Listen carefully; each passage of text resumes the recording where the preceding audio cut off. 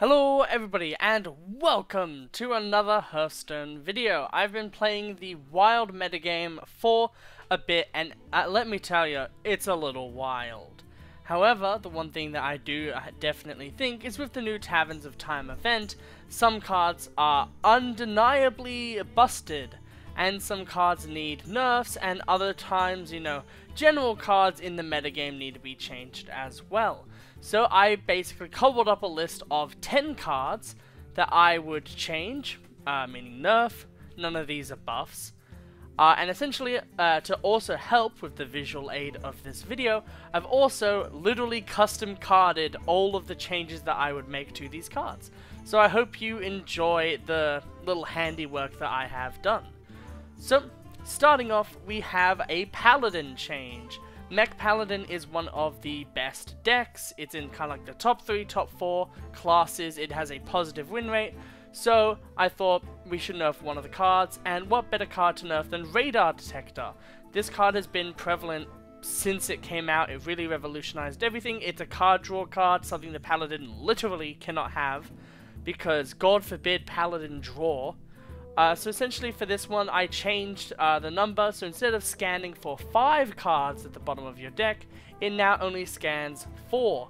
This should make it so then, you know, paladins can't just oopsie draw five cards and then wombo combo their way to unfairly beating you when you literally should have won anyway.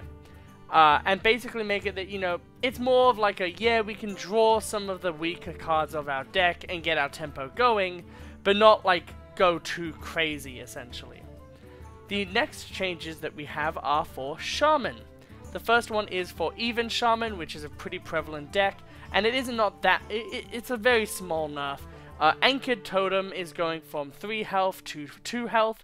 I think that personally, uh, this will make it so that it's way more vulnerable to board clears as a whole, to hopefully maybe make it easier to actually take out um, the minion itself, because if you don't take it out in one or two turns, or basically immediately, uh, you get so much pressure, and that's how you just lose immediately to uh, even Shaman.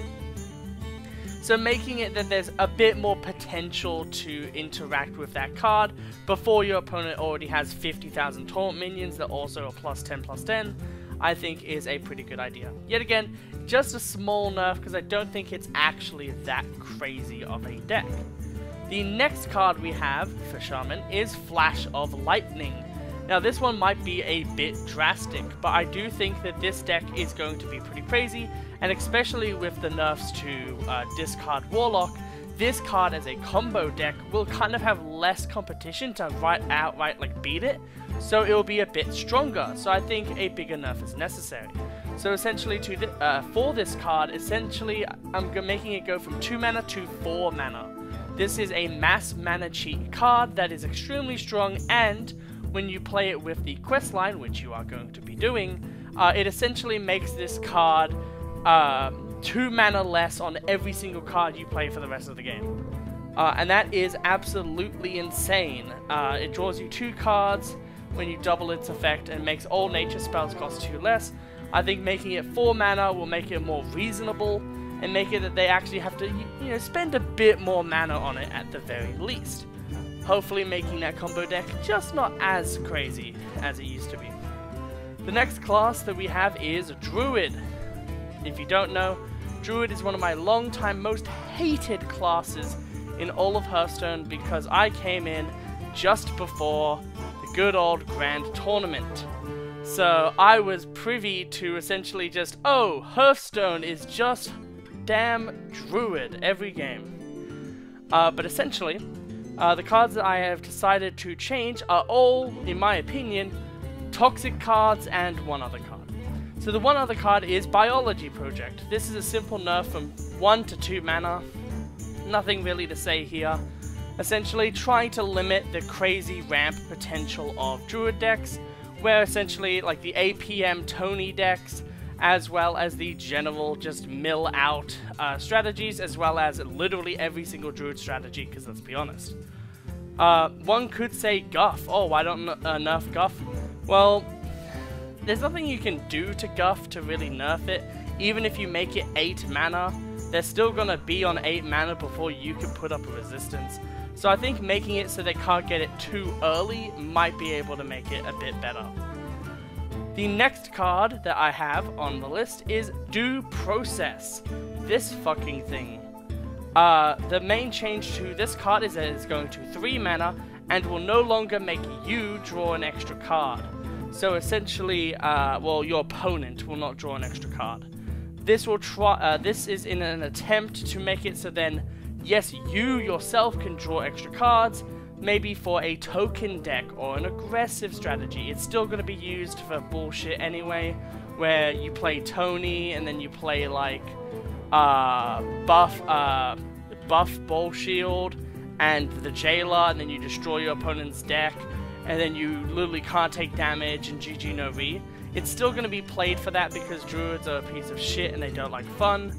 But essentially, at the same time, though, uh, you know, this will try to limit the general mill druid type of strategy. You can't cover everything, but I think this might deter those strategies just a little bit. The next and final change for druid is Floop's Glorious Floop. Oh, Gloop, sorry. Uh, this card has been bullshit since it was born. And essentially the main change I've done to this one is you restore a empty mana crystal instead of gaining one mana.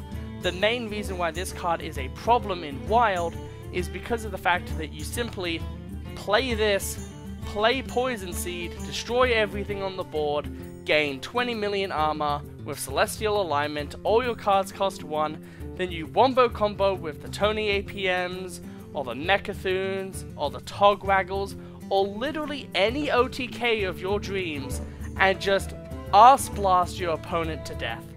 And I think this card for a long time has needed to be changed, and I think this is the perfect change. However, we've all been there, and we all know what's been happening. The good old discard Warlock changes. So I have decided on four cards to change. I'll go from kind of less impactful to most impactful. Uh, the least impactful of these is the Tiny Knight of Evil. This card is now going from gain 2-2 whenever you discard a card to 2-1. The main idea about this is essentially that, yeah, the 2 attack, like, you know, it's still an aggressive card, right? But uh, limiting the amount of health it can get can actually make it so then you can actually get uh, it off the board way easier. I think a minion like this should not scale so quickly with its health. Uh, if you discard three cards with this card as it is, you can't beat it with something like, I don't know, Even Warrior, which I think should be the be-all end-all to Warlock. I think Even Warrior control deck beats Warlock, Warlock beats control, uh, no, combo, combo beats uh, uh, Warrior. That's the way that the meta line should basically be. So essentially with this change, I'm hoping that, you know, essentially more decks, especially things like maybe Priest, uh, and Mage, and other stuff like that, will be able to target down this minion way easier, so we can bring up the uh, other classes and make it so it's not just Warlock Stone. Uh, the next change is Dark Bargain. This is just going from 3 mana to 4 mana. Uh, this card single-handedly enables a lot of random bullshit, whether it's your Hand of Gul'dan, whether it's your Fist of Juras, uh, Juras. You know what I'm saying. Uh, or Soul Barrage, you're just doing so much burst damage, summoning so many minions, and also clearing probably two big threats. And for 3 mana, I think that's a bit too strong, but I think at 4 mana, it's still respectable, it's still playable, uh, but just not too OP, because I think none of these should be at like the cheapest they can possibly be. The next card is Soul Barrage. This is kind of a small change, but I think it does drastically change the card. It now goes from dealing 6 damage randomly split, uh, split upon all enemies to 5 damage. So what this essentially means is once you do, the, you know, the simple uh, 2 mana lady and discard your highest cost card, instead of taking 6 damage and then 12 damage, you take 5 damage and then 15. It's only a 3 damage difference, however I do think that that will really help out in the long run, because with other cards like Fist of Jaraxxus, such a hard word for me to say for some reason, uh, you'll basically slow down the amount of total burn the deck has, and hopefully be able to make it so different classes like Priest, for instance, maybe can actually have a leg up on Warlock as well, as if we have two control decks that can beat Warlock, then we're in a kind of good spot where, yeah, it can beat up on other aggro decks, it can beat up on some mid-range decks, but it isn't the be-all end-all. And the final change is to Cha uh, Chamber of Vidiscus, which is such a weird name. Essentially, for this change, it is now 3 mana instead of 2, because God forbid. Uh, you only draw one card once you discard something, because 1, Malchezaar's Imp is a thing, and also, the thing you're discarding is already value. Like, 3 mana, draw 3 cards, discard 1 is already in effect, and that's like a, yeah, okay kind of card. But being able to select any card in your hand that's dead weight and do that twice is ridiculously strong. So I think it's very, very necessary to actually really nerf this card. So it only has 2 durability, draws 1 card, and is 3 mana. This will heavily make it harder for actual, you know, crazy bullshit where they use it 3 times and you're just like, well, I guess I die. Um, however, you still have 2 of them, they're 3 mana, but like, you know, you're still gonna, you know, turn 2, you know, use the uh, Whisper, you know, summon two three twos, summon the 2-1, discard Soul Barrage, uh, place down the 3 mana location, you know, trade the 2-1 into something, discard a Soul Barrage, you know, you're still playing the game and you're still doing really, really well. Uh, so I think at this point the deck would actually be pretty fair, and actually maybe have enough interaction between both sides to where other decks can actually resurface and we can have a bit more of a tighter metagame. Obviously, no, nothing touched Warrior. Uh, I'm very unsure on how to touch Warrior other than, oh, make the 2 mana 2-2, draw 2 cards 3 mana. Guess you can't play it anymore.